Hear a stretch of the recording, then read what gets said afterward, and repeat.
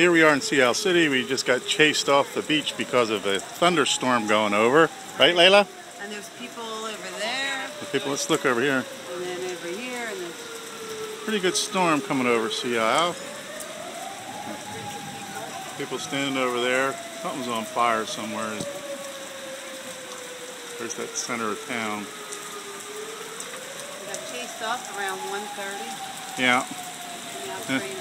We're just waiting for this to end. We're going to go back on the beach, right? Whoa, what was that? Hopefully the sun will come out soon. Yeah, we just saw some lightning hit the water over there. Huh. Thunderstorm.